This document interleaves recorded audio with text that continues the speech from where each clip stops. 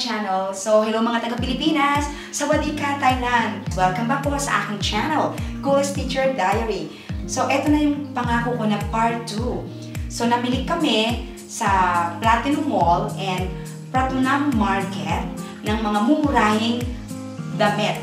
But they are actually very nice, very trendy. So, nagkaroon kami ng 1,000 baht challenge kaming magkapatid. So, dito sa mga hilera ng damit na ito, makikita nyo, hati na kami dito. So, bago namin i-try, ipapakita ko muna sa inyo. So, etong pants na ito, 100 baht lang. So, ita-try namin ito mamaya. Ang ganda na kanyang ah, waistline kasi may pa-buckle. Ah, kulay niya po, moss green.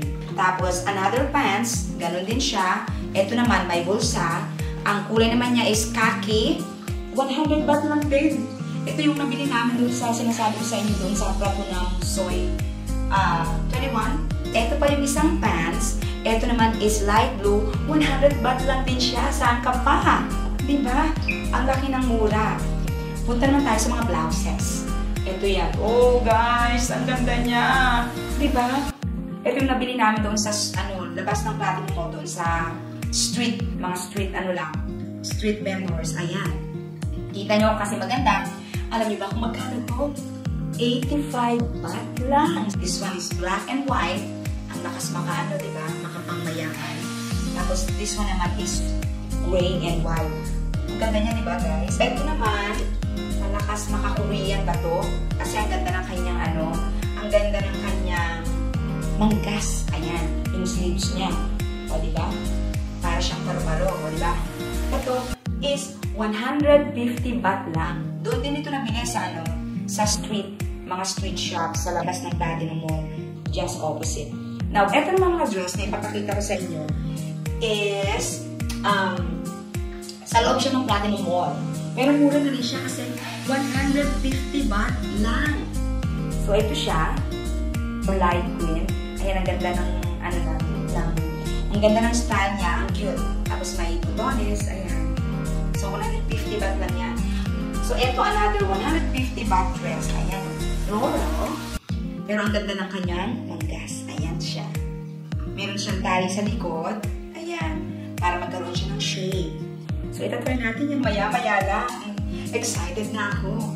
Tapos, ito naman is another ano dress. Uh, floral din siya. Kaya lang, ang kulay niya maganda. Malamig sa mata. Parang malasamon. Samon yung color niya. Tapos, ganun din siya. Meron siyang ano sa likod. Pero itatry ko siyang gamitan ng belt. Mamaya-maya lang. So, so, bali, 150 bag lang din ito. Bali sa parang 6 items na ito, nakagastos lang kami ng 1,000 baht. Lahat na ito. O diba, ang laki ng mura. Kaya diba guys, sabi ko nga sa inyo, pagkakatira ka sa Thailand, especially sa Bangkok, kung gusto mong maging ano, trendy at fashionista, hindi nyo kailangan gumastos ng malaki. Kasi, mura nga dito ang mga damit. At in fairness naman, updated sila sa mga latest fashion. So, handa na ba kayo guys? Tara, try na natin to!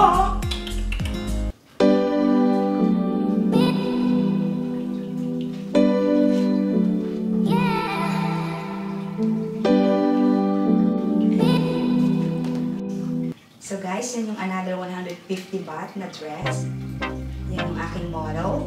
Si Jackie, my youngest sister. Nice back. I can't get you out of my mind. It's like I feel it for the first time. Been thinking about you all night. I've been searching for this all my life. You're just my type. I've been looking for a boy treat me right. Your dark hair with those eyes so bright. They look into my soul and it sparks my life. Can I take you there? Like it was the first time. Do you remember? Can I take you there? Back to when we felt like this was forever.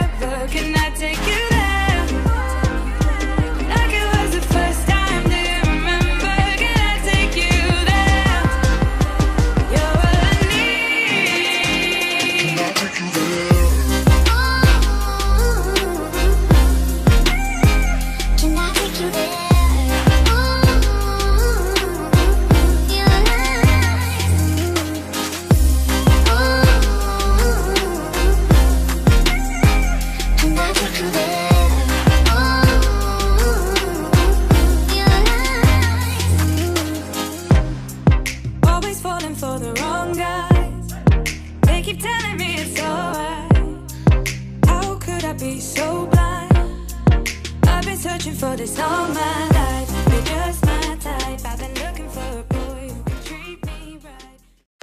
Asang nag-enjoy kayo sa aming try-on uh, haul from Platinum Mall. Kung kayo ay taga Thailand, visit lang kayo sa Platinum Mall para kayo makamura or syempre, once na nandun kayo, don't forget to ask discount and also nandun kasi yung mga latest fashion trend.